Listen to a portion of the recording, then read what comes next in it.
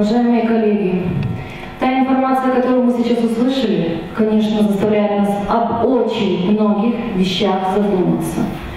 Уже очевидна картина, что предыдущее руководство нашего города во главе с администрацией нашего муниципального предприятия целенаправленно, планомерно доводило это предприятие до краха.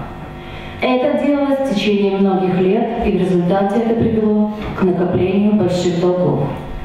Я хочу сейчас обратиться к журналистам одного небезызвестного канала, которые снимают репортажи, в которых они демонстрируют свою заботу о том, чтобы работники муниципального предприятия получали вовремя свою зарплату.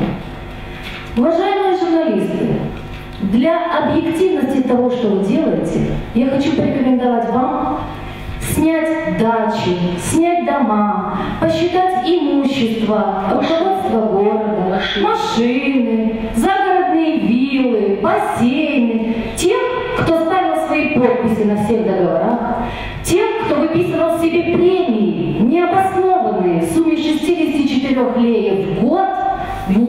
убыточный год для нашего 64 тысячи, прошу прощения, и порекомендовать в своем репортаже, который, я уверена, вы снимете, чтобы они выплатили, продали свое имущество и заплатили бедным работникам, которые действительно работают, заработные платы.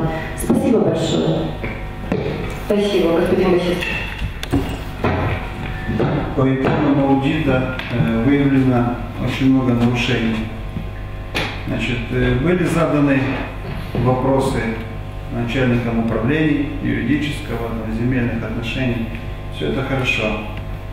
И я бы хотел бы, чтобы перед советом, и думаю, мои коллеги меня э, поддержат, должен стоять господин Крокодилов в первую очередь и объяснить нам хотя бы по совокупным убыткам этого предприятия. А можно и маху рядом? Можно и маху рядом, да.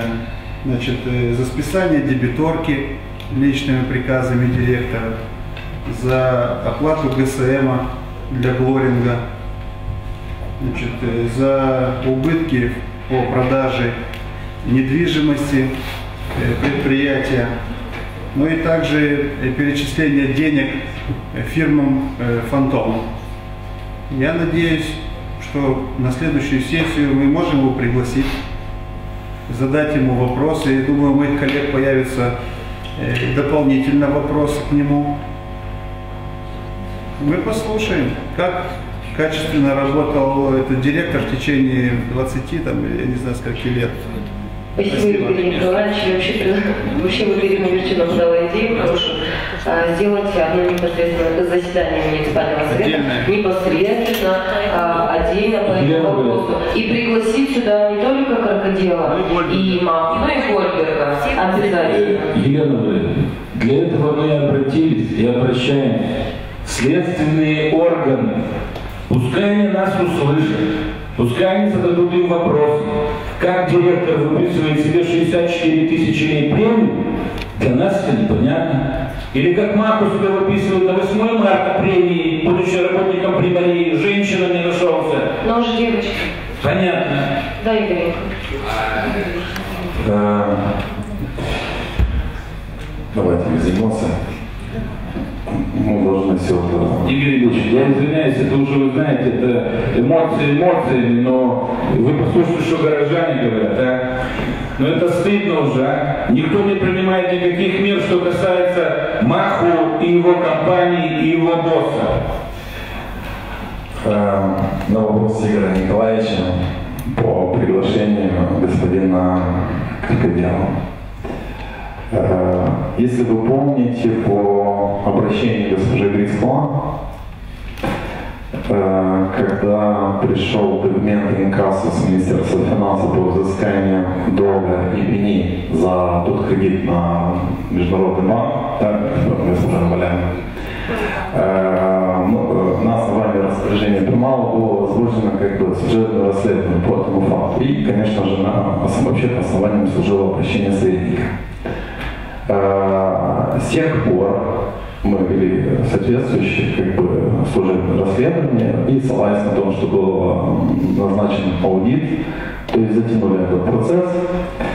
И, конечно же, когда были э, уже готовы результаты, мы э, или позвонили до него, дали на руках нач- э, результат аудиторской проверки, и на 14 декабря мы его вызвали, чтобы он уже ответил на все эти вопросы в рамках дисциплинарной комиссии и, в частности, то, что касается по неэффективному менеджменту вот этого кредита.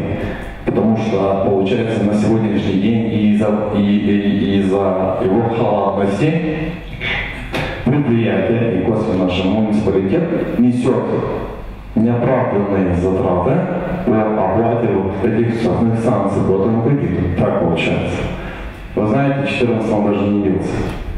Я не уверен, что он даже на совет, но надо соблюсти всю эту процедуру, его вызвать, как бы по каждому вопросу эм, э, выслушать его комментарий, потому что тем более, что вот этот отчет у него официально на руках, он подрос и взял отчет именно отчет по аудиторской проверке. Это вот первое. Во-вторых, я бы ходатайствовал в совете, чтобы вот э, результаты аудиторской проверки просто отправили в соответствующие следственные органы, чтобы было в комплексе уже запущена вся эта официальная процедура по возбуждению уголовного дела и не торопились э, те же следственные органы, да, чиня э, с, с отказом э, возбуждения уголовного дела по факту э, э, передачи в концессии э, главных инженеров. Вот это все взаимосвязано.